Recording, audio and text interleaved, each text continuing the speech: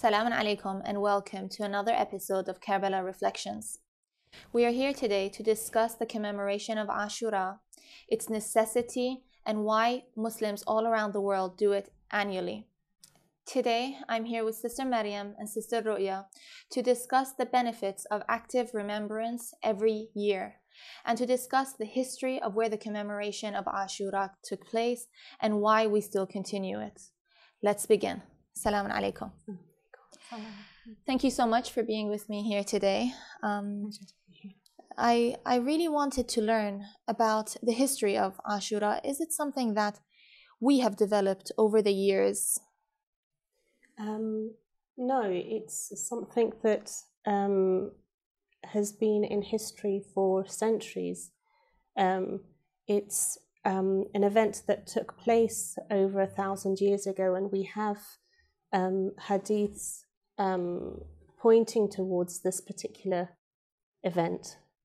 Um, I'm sure Sister Maryam has a few hadiths that that do point towards yeah. um, this this particular event. Yeah, well, uh, it started. The commemoration started um, right after the events happened, and it started with uh, Sayyida Zainab uh, remembering uh, the events and uh, crying and like putting majlises for it uh, even when she was still um, captured, actually, even when she was still asir, she started doing that. And uh, over the years, we have a lot of hadith that Imam Zain al-Abidin alayhi salam, he would have majlises and uh, he would even cook actually and invite people to come and commemorate and sit and remember what happened and cry and uh, people would gather and remember. And uh, during the time of every single imam, imam after that, we have a lot of uh, hadith that saying they well, did it themselves. Well, I guess the question that would come up then is that, well, you're describing events that took place immediately after the, the events of Karbala, but is it still beneficial to us today, so many years on, to have an active remembrance so often every year? Do you think it is needed? What are, what are the benefits? Um, I believe it is. Um, I think that in this day and age, more than um, more than ever, we need to commemorate these events. Um, as we see in every corner of the world, um, tyranny echoes out. Um, whether it's in Afghanistan, Iraq, whether it's in Yemen, and these events are slightly similar to what happened in Karbala, as in um, there is a number of specific people who are being um, tortured, who are being um, who are governed by a, a tyrannical um, government. So I think um, definitely um, we need to commemorate these events. And these events that happened didn't happen to a, especially um, the events that took place wasn't um, an event that that happened to a, an ordinary person. It was the grandson of the Holy Prophet. Um, he was a person that stood for truth. He was a person that stood for just justice, forgiveness, um, every positive aspect um, that you can think of. He stood for. So um, a lot can be learned from um, the events of Karbala. So, the points that you just discussed are very relevant to us as a Muslim community in this day and age.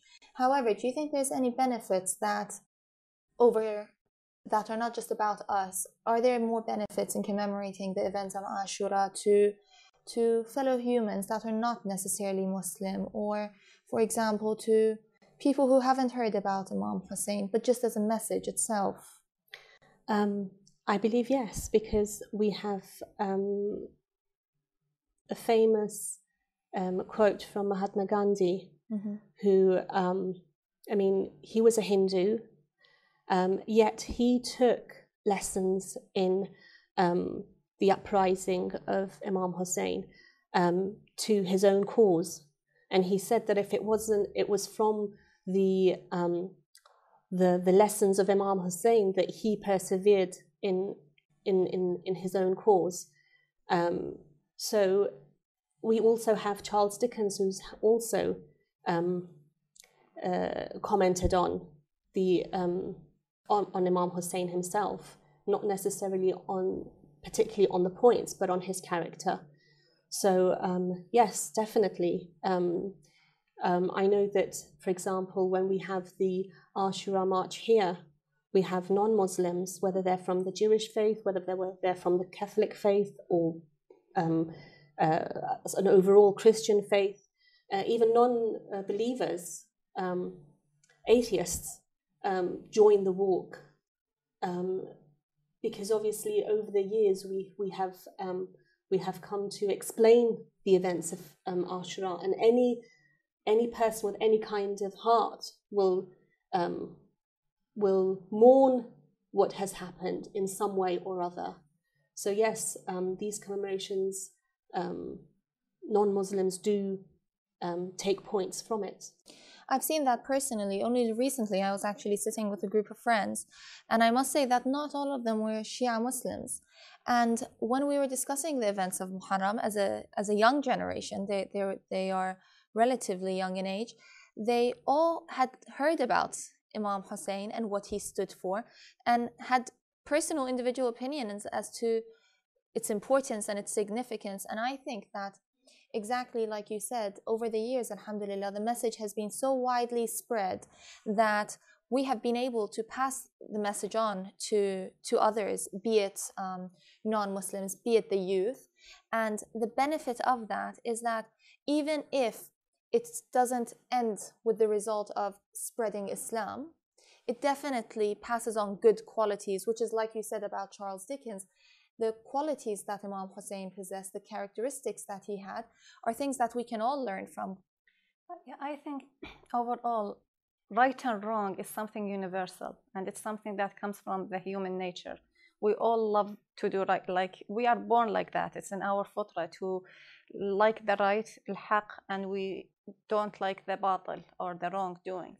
So, and the story of Ashura and the story of Imam Hussein, it's that, it's black and white, it's right and wrong, it's haqq and batil. And whoever, like even as Sister Roya said, even if, even if you're atheist, you don't believe in anything, but you're born with that fitrah that you like the haqq and you don't like the batil. In many cases, even for the people who do the batil themselves, they like to hear stories about people who do good because that's our nature. It gives them hope, doesn't it? Oh, maybe, yeah. But Yeah. I mean, that's that's our nature. So I think the story, when you tell the story to like a big audience and non-Muslims and non-Shias, and they just like the fact that somebody took a stand for the right cause. And even during the whole, like, even if we're just discussing the day of Ashura, during that whole day and losing so many people of his own family, the young, the, the baby, the, the old, all of that, he never, Imam Hussein alayhi salam, never, never did something that is wrong. He didn't like say a bad thing. He didn't get, uh, like he didn't do an, a wrong action. Even during all of that, he stick to doing the right thing. And I think that's what really appeals to people when they want they hear it. They just like that he was basically 100% uh. Well, well, of course, he was an he was an infallible. Yeah, alhamdulillah, yeah. we've been very blessed in this in, in the religion of Islam to be blessed with many role models. So the thing is, Sister Roya, that after many conversations with many people, the question I get asked a lot is that it's been over a thousand years. Does it make sense as Muslims to still be commemorating every single year? Absolutely. Um, we have, um, uh, let's take a simple so- example of um, this country. In this country, we have um, every year people commemorating um, the first, the first and second World War, and they even have the day that this happens. They symbolize it by wearing a poppy, Mhm. And they commemorate those um, soldiers who lost their lives um, during that war, protecting um, protecting their country. So it's not something that's specifically um, that that Muslims do. It's it's it's a universal thing that um, each um, society, each faith, creed, whether they're um, whether they have a faith or they don't have a faith, there is something in their lives that they do commemorate um, yearly. Whether it's the passing of a loved one, they commemorate it. They they um, talk about their good points. They talk about what a wonderful person they lost. Um, obviously, they um, commemorate or celebrate in different ways, but the the the point is the same. Yeah. So um, it's absolutely um, it's it's it's not something that's um, old fashioned or something that should should eventually stop. Um, it's something that I think should continue, um, so that everyone is aware of um, the events of Karbala, not just the fact that the Prophet's family um, was so brutally slaughtered, literally slaughtered, but the um, the message that he um, that, that he brought with him. Yeah, that's a very good point because I feel like another misconception there is within the community is that um, not just people from mm. outside the community, but even amongst ourselves, people tend to sometimes think that we are commemorating a single day. Mm. We are commemorating the events of Ashura, that's what we call it. And they associate all of the majalis, all of the lectures with 10 days, whereas in reality, we are not commemorating uh, we are not commemorating an event, an isolated event. We are commemorating a series of events, yes. a series of positive qualities within the Ahlul Bayt, negative qualities in other people that led to not one battle, not two, not three, but throughout the history of Islam, throughout the history of the Prophet and his holy household, that led to this event and that in many ways continued after the events of Ashura. So please touch on that a bit more. Um, I think one very, very good example is um, the recent events that took place in Afghanistan. Mm-hmm. About three weeks ago, there was a bombing in um, a Shia mosque, and it killed over 50 people and injured um, a lot of um, others.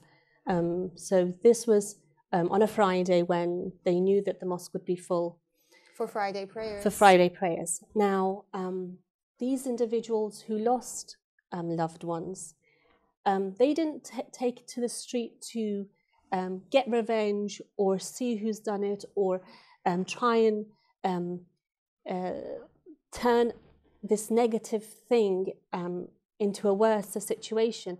They went out and they demonstrated. They told the government that this they are not going to stand for this. Um, at the funeral, they had very powerful speeches. Um, uh, in Parliament, um, people rose uh, um, rose against what what was happening because it was happening to a particular uh, type of people. Again, um, a few days ago, when um, students were sitting their entry exam for university, and it was an area where it was the students were of a particular sect and again, this event happened. And what the students did, those who did survive, the next day they actually went and they sat the exam again. So this is something that they learn, they have learned not to um, tolerate, not, not, to tolerate. Um, these, the, the, and this is this is maybe um, uh, you know these, these things are happening in Afghanistan, but not just in Afghanistan. It is happening all over the world, and I think that um, a lot of people are taking points on um, what um, Imam Hussein did. He he wasn't just um, fighting for his own rights, absolutely not, or fighting for power position. It was a wider thing that he was fighting for. It was um, the fact that you should not let other people dictate what to believe, who to believe, how to live your life. Um, uh, and if you see with your bare eyes that the government um, itself is going against every single thing that you believe, um, and it's it's it's all negative, um, then yes, um, he he took it upon himself to um, to stand against it, but also to make people of generations after him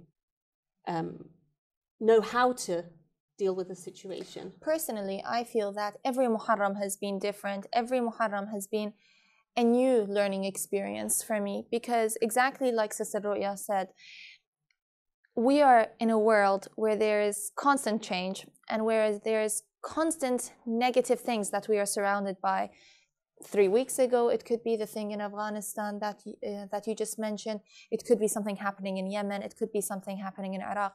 And whereas yes, the issues are all negative and they are clear human rights violations. The source is sometimes different, and the mentality behind the negative action or the reasoning behind it could be different. And that is why the message of Ashura lives on with me year after year, because I feel that in any situation that arises, I could learn from Imam Hussein and his actions on that day, be it trying to keep the peace, he, he demonstrated it, being forgiving, he demonstrated it, being standing for a cause, he demonstrated it. And I feel that if we try to look at the events of Ashura with a new lens and not with the lens of Ashura, full stop, ten, the 10th day of Muharram, of course, that should be remembered and rightly so for many other reasons. But as a learning point for us, I feel it's very important to look at the aspects exactly how Sister Roya mentioned, as not as an isolated event, the series of events before it and after it, so that we could really understand the message of the Ahlul Bayt and so we could really learn from it and implement it within our daily lives. Well, I really liked something that Sister Roya said now, which um, it just brought back um, maybe memories. But um, the fact that she said when it happened three weeks ago in Afghanistan and people decided not to go on the streets and fight and kill others because it happened, or the students, they just decided to go and um, sit their exams the next day. I think a very important message of Ashura that they have really demonstrated very well that they have taken is that we should never forget that Imam Hussein didn't fight. Imam Hussein, until the last second before the war, he was asking them, you know what, I want to demonstrate peacefully. I want, I will never give in to a dictator or to something, to Batil or to Yazid, because he stood for every wrong thing in the world. So I will never give in. But I won't fight and kill to, like, I, I will go and he was asking them to go aside to give me any other path. I won't go to kufa. I won't do this. Give, tell me tell me. I'll sit in the desert with my family alone. Let's stop this bloodshed. They didn't accept and they started the fighting. So a very important message that we can take really for me at least especially now that you you said that story it is like that. Uh, it is like imam hussein did exactly that and that's the important message that you should never ever give in. But on the other hand you don't what not giving in doesn't mean fighting and killing. It means you take a stand and you like stand for what you believe in until in a human and yes. if that means that you will get killed okay then that's the i mean that's the sacrifice that you have to give that imam hussein did. Not himself only even his baby even his, his family everyone. But before that we should always take a stand and we should always do it peacefully. And i think every day we can learn from that for, for stuff very simple even at home maybe something happens mm. i should learn how to do how to deal exactly the same way and something it's and sometimes it's something much bigger like in politics or countries mm. or continents so is um, that as sorry as sister maria mentioned the point that a, a very simple thing mm. we do in our daily lives we do learn from imam hussein for example my children i always tell them that if you see someone being bullied mm. You should not just stand back and be scared and not say anything. If you see it with your own eyes, you have a duty to either, if you can interfere and try and stop it, then fine. But if not, then you go to a higher authority and you report it. You don't just stand there blindly and um, and and accept what is happening because this is to a small child. Um, you can't go into detail, into depth about the events of mm. Ashura. But one thing you can say is that this is what Imam Hussein did. He mm. stood there, he saw something bad is happening, and he took a stand. Mm. But as I, as Sister Maryam said, this is a very small hmm. point for a child, but you implement that hmm. uh, at, at, an early stage. That you shouldn't, um, even when you see something's happening, if you, it's and it's nothing to do with you, but you see some other person being bullied, then you should, um, in one way or another, take a stand and protect that person from being bullied. Hmm. The examples you have both given have been great examples of how the message of Ashura is reflected and what you are learning from it on a daily basis, be it um, children in Afghanistan and sitting their exams, being how you raise your child and within the family. And I think that that really goes to show as to the importance of remembering the events of Muharram annually because we do. We learn something new. We allow it. We learn from it in a way that it could it could it's life altering having such a having such a role model. Personally, when I think about the events of Muharram and the actions of Imam Hussein and the need for remembrance, I relate it back to an ayah in the Quran. I'm sure you both know it in Arabic better than I do, but in um, the translation, roughly, would be that the um, say, when it was revealed to the Prophet, say that I do not ask for any compensation from you for anything other than the love of me and my family. Love in itself is a word. I believe, personally, that it's the actions that demonstrate pure love from a selfish love and a love that is beneficial to all. Obviously, 1,000 years have, over 1,000 years have passed, and the love that we have for the Prophet and his holy family only benefits us between, between the two way dynamic. They, they are not benefiting anything from our love. And so I see it as my Islamic obligation to love the Ahlul Bayt and his family, peace be upon them. But in many ways, I feel the commemoration of the events of Ashura or how I can express my love because loving someone means to allow their memory to live on. It means to learn from them. It means to spread their spread their message across the world, no matter how small your world is. And that's a personal reason for me. What do you think that verse in the Quran? What's your take on that verse? Well, um, that's not the only verse in the Quran that uh, the Prophet is asking us of what he wants from us. There's another verse in the Quran which says, قُلْ مَا سَأَلْتَكُم مِّنْ أَجْرٍ فَهُوَ لَكُمْ which means, uh, which means tell them that whatever I ask you is for your own benefit, is for, you, for your sake. So having that verse and having the verse that you just mentioned, which is, um, I don't ask you for anything other than to love أهل, uh, like my family, ذوي القربى putting them together, we just realized that loving them and um, loving them is just for our own benefit. It's something that we benefit from.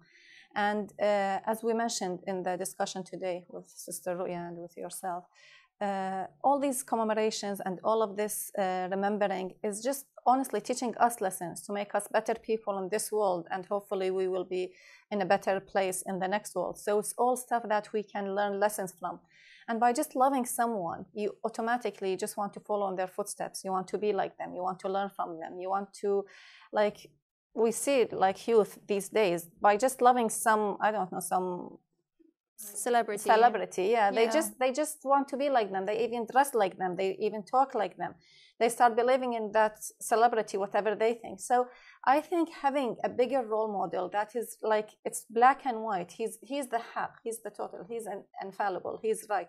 And loving that person and making that person as my role model, I'm benefiting. I'm the main, main, main beneficiary here, and no one else really. So by just following, so I think that uh, this ayah you mentioned is an extremely, extremely important thing to remember. That loving this person can have a life affecting so, wrapping up, commemorating Ashura benefits us. But we're not the only people who have that ideology, are we? Um, absolutely not. One of um, the biggest events that, that happened um, last century was um, the Holocaust. Now, every single year, um, we are reminded, everyone, the whole world is reminded of the Holocaust.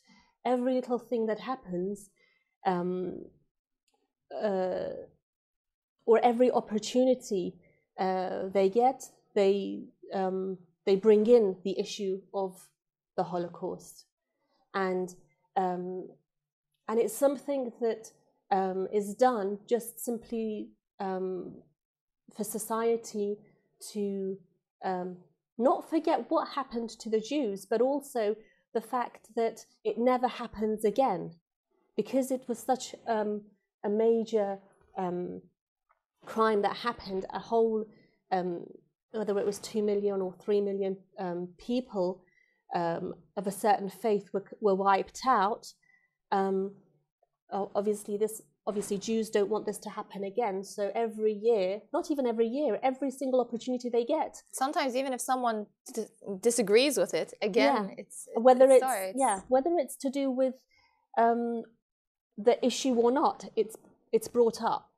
So I believe that we should as well um, do the same thing because um, for us it was almost as though a whole belief system if Ashura hadn't happened, a whole belief system, a whole religion would have been completely wiped out. The family of the um, Prophet um, as a whole. As a whole, the family of the Prophet as a whole um, was wiped out. I mean, um, he only had 72 members of his family, and from that 72 members, just a handful of women and children survived. So it was a whole lineage um, was being wiped out. And we need to um, commemorate this every year to, to, to, so that we make sure that this doesn't happen. We make sure that uh, a particular sect or a particular religion is not targeted, even though no matter how much um, uh, they want to um, wipe or make the name of Islam bad, we need to stand up for our rights and our beliefs. Thank you so much, Sister Roya and Sister okay. Maryam, for being here today with me. I've learned a lot from the both of you and from the very wide range of examples that you have given me. And thank you for joining us today for another episode of Karbala Reflections. Today's talk about commemorating Ashura, the importance it holds, the benefits it has for ourselves and the, and the community, and the emphasis we have put as to the new things that we can learn every year has been beneficial, and may the memory of Ashura forever live on. Thank you. Assalamu alaikum.